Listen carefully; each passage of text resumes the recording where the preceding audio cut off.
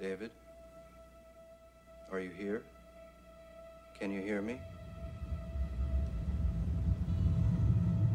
It began at a party. It was only a game. David, will you return to the living one day? Bullshit. Careful, Jim. You're upsetting David. David, are you all right? Yeah, he's all right. He's just a little dead, that's all. Shut up, Jim! What's he gonna do, haunt me?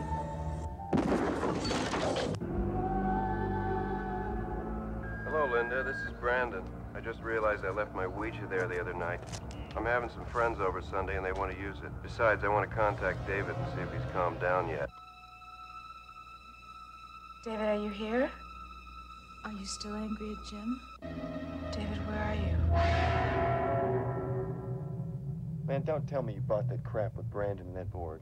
Oh, please. Boy, David, you should know how to hold a grudge, don't you? David? I want to bring a medium by your apartment as soon as possible to exorcise the spirit. Okay, let's talk to some ghosts. David, where are you? You! Did you cause that accident at the site? David, don't lie to me. When someone uses a Ouija alone, like Linda, she's very susceptible to the spirits she contacts. And the wrong spirit will take advantage of this. Pretty soon, all she wants to do is use the board. And once that's done, he's able to possess her.